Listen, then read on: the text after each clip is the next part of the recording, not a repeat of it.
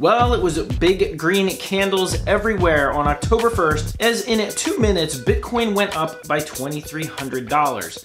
And by the end of the day, it was up nearly $5,000. It hasn't done that in a long time. So we're going to talk about why that actually happened, who did the buying, and what happened to XRP during that time frame. Also going to talk about a little bit about what could happen by the end of the year, specifically about some Bitcoin ETFs. I have some news on that that just came out the other day. And if you remember me covering Solana a few weeks ago because they were skyrocketing to all-time highs pretty much every day, well, guess what? They are back at it. I'm going to tell you about what Solana's doing price-wise right now. Also on Friday, there were some very cool things happening on Fox business. John Deaton, who is an outside attorney who is representing 22,000 XRP holders, was on Fox Business talking about this case. I'm going to tell you my thoughts on it. Hey everyone, my name is Randy and welcome back to the Late Night Grind. And right now on this channel, we are covering the case of the SEC versus Ripple, along with other cryptocurrency news, investment markets, and personal finance. So if any of those topics interest you and you want to follow along, make sure you hit the subscribe button, click the bell notification icon so YouTube will notify you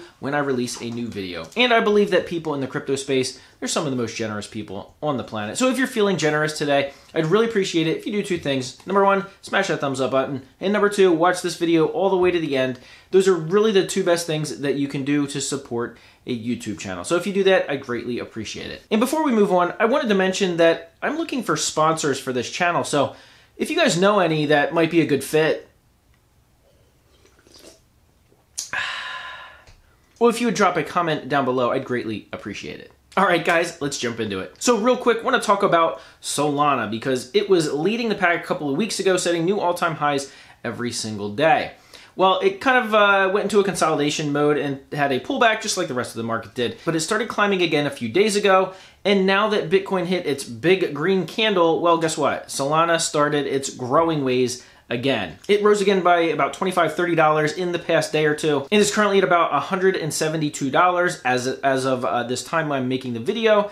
Now keep in mind, in January of this year, Solana was $1.51. So sometimes it pays to keep an eye out for small projects that you've never really heard of. Okay, now back to Bitcoin and really the rest of the crypto market, that what happened on Friday? What spurred this massive upshoot of, of uh, Bitcoin price action? And why did it happen so extremely fast? Well, there's kind of an easy explanation for it. Well, most likely there was a coordinated uh, buying attempt by, well, pretty much everybody, and that's the strange thing. Most likely it started with whales. But what happened is that as prices went up, shorts, meaning people that were looking to short Bitcoin betting that the price would go down, once the price started to go up high enough, exchanges saw that and wanted to cut their losses. And so what they do is they liquidate everything that you have in your account if you're in a short position, and they go ahead and take everything from you. Well, guess what? Early Friday morning, Eastern United States time, they took $47 million worth of Bitcoin shorts. $47 million were liquidated in about two minutes. Hence the price going up about $2,300 during that two minute time frame. Now over the course of the day, it went up nearly $5,000 in all. And when looking at some of the on-chain metrics, I wanted to find out who was actually doing the buying. So I went to some of my trusted on-chain analysts that I watch, that I watch and follow along with to see some of the charts and the analysis that I knew they'd be putting out about this. And it looks like the whales, of course, were doing the buying. The whales meaning those that have more than a thousand bitcoins in their account. Those addresses were absolutely buying on Friday with a major uptick. But here's the thing accounts with less than 100 Bitcoin were also buying during that time frame. And here's the other strange thing on Friday. Accounts with even 1 to 10 Bitcoin were also doing massive buying on Friday. So it just seems like the people that already have a lot of Bitcoin were doing the buying. Not just the whales, it was pretty much everybody across the board. And of course, we can continue following this story as if you continue to look at the on-chain data, the amount of Bitcoin that is on exchanges is still at extremely low levels. It's at its lowest point in nearly two years, and it continues to drop. So all the whale, so a lot of the whale action and a lot of the mid-sized buyers, what they're doing is they're buying their Bitcoin and they're taking it off the exchange. This is why a lot of speculation is that once volume starts to pick up and demand starts to pick up, that price is going to go wild because there's just less and less Bitcoin available to actually buy. And so I wanted to compare the on-chain analysis of what's going on now with the supply shock ratio that's absolutely getting squeezed even more which means less Bitcoins available, and combining that with some of the with some of the technical analysis uh, and some of the Fibonacci retracement levels and things like that, where it could go. Uh, I've seen one or two guys now uh, basically looking at the retracement levels and comparing it to the last two bull runs. And if it plays out like it did in 2013 and 2017, and what some of the on-chain data is actually suggesting right now, Bitcoin's price at the end of the year between 250 and $300,000. And I know there's some of you watching right now that say, yeah, that's what I'm expecting. And some of you others are saying, you are out of your mind. It is going to get nowhere near it. It might get close to all time highs again. It might even break all time highs, but it's not going to get anywhere near it. And of course, there's other people watching that says, yeah, it might get there, but I think it's going to take a lot longer than the next three months, which is kind of the camp that I sit in. I've seen a few fundamental analysis and some technical analysis that show that this is an elongated market cycle. I think it's going to be more like six months till it's till Bitcoin reaches its peak. And so one of those things that could absolutely make Bitcoin and the rest of the and the rest of the crypto market hit that FOMO, hit that retail market, not just in the US but everywhere else, is Bitcoin ETFs. Well, the SEC just announced the other day that they are actually delaying decisions on four Bitcoin ETFs for at least 45 days. They basically just said, mm, we need more time to make a decision. So the first one that they're going to be deciding on actually won't happen until November 21st. The next will be December 8th, December 11th, and December 24th. Those are actual Bitcoin ETFs, not futures ETFs.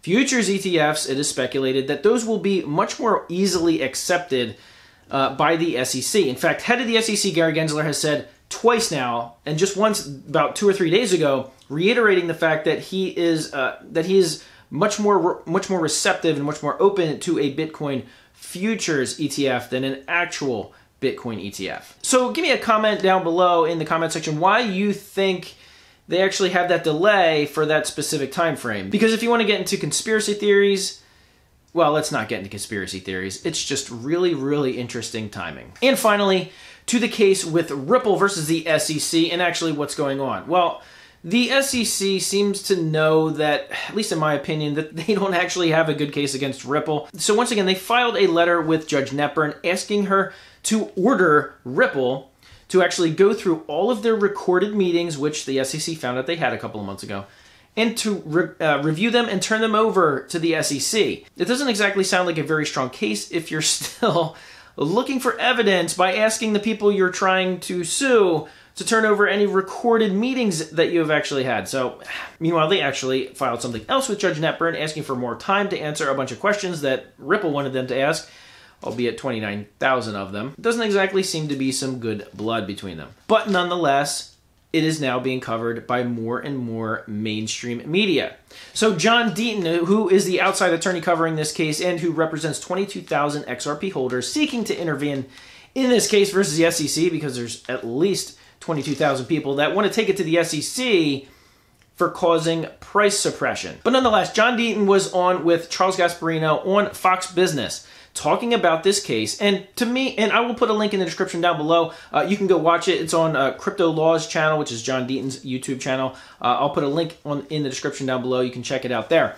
Um, but it was really interesting to me to see what they talked about. It wasn't anything earth-shattering and groundbreaking. Basically, uh, uh, John talking about representing XRP holders in this case because there seems to be a lot of conflict of interest.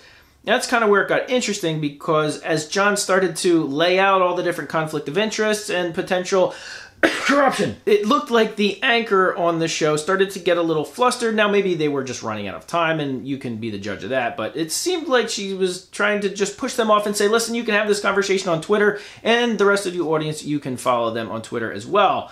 But it was almost as if she was kind of hearing this information for the first time like it was like earth shattering and, and, groundbreaking of course, little does she know there's dozens of channels that cover this on YouTube every single day for months and months on end.